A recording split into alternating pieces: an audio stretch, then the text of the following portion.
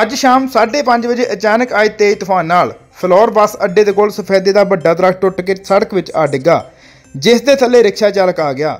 ਲੋਕਾਂ ਨੇ ਇਕੱਠੇ ਹੋ ਕੇ ਰਿਕਸ਼ਾ ਚਾਲਕ ਨੂੰ ਕੱਢ ਕੇ ਸਿਵਲ ਹਸਪਤਾਲ ਪਹੁੰਚਾਇਆ, ਪਰ ਤਦ ਤੱਕ ਰਿਕਸ਼ਾ ਚਾਲਕ ਅਸ਼ੋਕ ਕੁਮਾਰ ਦੀ ਮੌਤ ਹੋ ਚੁੱਕੀ ਸੀ। ਰਿਕਸ਼ਾ ਚਾਲਕ ਨੂੰ ਸਿਵਲ ਹਸਪਤਾਲ ਫਲੋਰ ਵਿਖੇ ਲਿਜਾਣ ਵਾਲੇ ਨੌਜਵਾਨਾਂ ਨੇ ਦੱਸਿਆ ਕਿ ਅਸੀਂ ਐਂਬੂਲੈਂਸ ਨੂੰ ਫੋਨ ਵੀ ਕੀਤਾ, ਪਰ ਐਂਬੂਲੈਂਸ ਨਹੀਂ ਪਹੁੰਚੀ।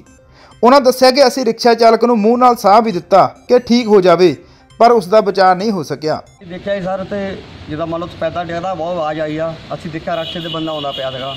ਜਦੋਂ ਅਸੀਂ ਆ ਕੇ ਦੇਖਿਆ ਉਹ ਬੰਦਾ ਰਕਸ਼ੇ ਦੇ ਥੱਲੇ ਸੀਗਾ। ਸਾਡੀ ਕਿਸੇ ਨੇ ਹੈਲਪ ਨਹੀਂ ਕੀਤੀ ਤਿੰਨ ਮੁੰਡੇ ਸੀ। ਇੱਕ ਆਹ ਇੱਕ ਆਹ ਤੇ ਇੱਕ ਮੈਂ ਤੇ ਇੱਕ ਸਾਡਾ ਭਰਾ ਜੀ। ਠੀਕ ਹੈ ਜੀ ਅਸੀਂ ਜਾਣੀ ਕਿ ਬਹੁਤ ਕੁਝ ਐਂਬੂਲੈਂਸ ਵਾਲੇ ਨੂੰ ਫੋਨ ਕੀਤਾ। ਉਹ ਕਹਿੰਦਾ ਤੁਸੀਂ ਕਿੱਥੋਂ ਬੋਲਦੇ ਆ? ਅਸੀਂ ਕਿ ਅਸੀਂ ਬੋਲਦੇ ਪਏ ਆ ਫਲੋਰ ਵਾਲੇ ਅੱਡੇ ਤੋਂ ਨਵੇਂ ਸ਼ਹਿਰ ਤੋਂ ਮਾੜਾ ਜਿਹਾ ਗਾਂ ਜੀ। ਉਹ ਕਹਿੰਦਾ ਜਲੰਧਰ ਵਾਲੇ ਬੋਲਦੇ ਤੁਸੀਂ? ਅਸੀਂ ਕਹਿੰਦੇ ਨਹੀਂ ਅੱਗੇ ਆ ਜਾ ਭਰਾਵਾ ਦੋ ਅੱਡੇ ਆ ਨਵਾਂ ਸ਼ਹਿਰ ਤਾਂ ਉਹ ਆ। ਜੀ ਉਹ ਆਇਆ ਨਹੀਂ।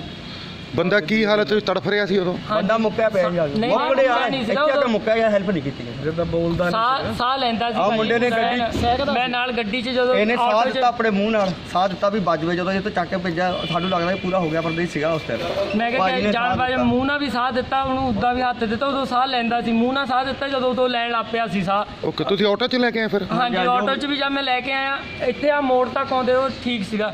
ਉਦੋਂ ਬਾਅਦ ਉਹ ਨਹੀਂ ਬੋਲਿਆ। ਫਲੋਰ ਤੋਂ ਰਾਜਕੁਮਾਰ ਨੰਗਲ ਦੀ ਰਿਪੋਰਟ।